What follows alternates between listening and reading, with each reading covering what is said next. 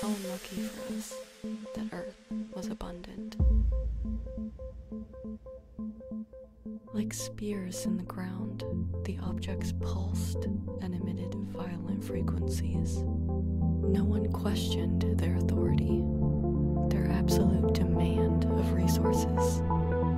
The Earth was violated by